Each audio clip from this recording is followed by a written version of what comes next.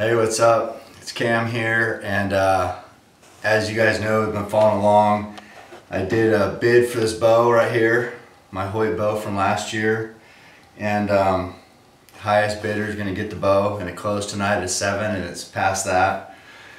And uh, so, Gentry Robinson, he's going to send me forty-five hundred dollars to uh, to send to Rick Carone, my buddy who is battling cancer and uh, you know it's crazy. $4500 for a bow. You could buy four of these for that much brand new this year. So what that tells me is it's it's not about the bow. This is about something more. This is about people helping others and loving others. And uh, you know i don't know. It's it's i guess it's what i aspire to. It's what i think a lot of people aspire to is trying to be, you know, I have a tattooed on my arm. I want to be a child of God. I want to be, I want to be a good man. I want to be somebody people can look up to. And I fail all the time. I, you know, I wish I could be perfect. I wish I could be the perfect child of God, but I can't. But I know I feel good when I give. And as we know, God blesses us with things. And when we're blessed with His generos- generosity, we need to to give that to others. And so that's, I think, what's going on here with this.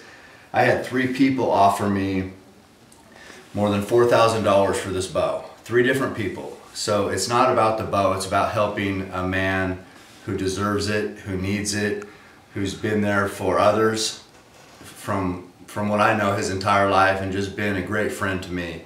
And that's Rick Carone. And I know there's a lot of people praying for him. And if this this can help him, and I know it will, um, in his battle uh, with cancer and, and doing what he can and fighting every day and just being an inspiration to us all, then man, it was worth it. I wish I could do this every single day. I wish I could sell all my bows. And uh, so I, I mostly just want to thank, I want to thank everybody who bid. I don't care if you bid $300 because to me, $300 is a lot of money to people. And to, to some people, it's a ton. And so I want to thank the $300 bid all the way up to the $4,500 bid from Gentry Robinson who shared with me just a nice heartfelt email. He sounds like a great man as well. And I've met so many good people just in this two day process. And they've said so many nice things about me, which I don't think I deserve. I, I just, uh, you know, I'm a bow hunter. Um, and I come across people because of what I do and the passion I have that make me richer and that's what that's what happened here. That's what happened with Rick. We became close, and now we're friends. And uh, now all the people that want to help Rick have made me better. And so I feel like the lucky one here. I feel um, I I don't know how to put it into words, but I just feel I do feel blessed to be able to help Rick out and to be able to meet everybody who cared about Rick like I do and uh, can share the love, so to speak. So thank you all for bidding. Thank you all for helping to support my friend.